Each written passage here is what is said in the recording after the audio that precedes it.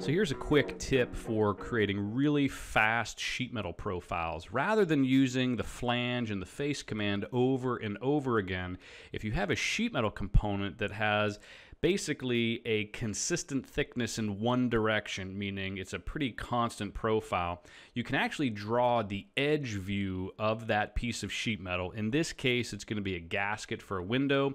These two curved sections is where perhaps rubber gasketing would go. Once you draw the profile and dimension it and lock it into place, you're going to issue the contour flange command. And then you have to just be aware of the direction or the offset side that the thickness thickness of the sheet metal goes to. It can either go to the inside, the outside, or you can split the difference. You can then add additional features in, such as other flanges or any other regular sheet metal feature. This is a super fast way of creating consistent thickness in one direction sheet metal profiles.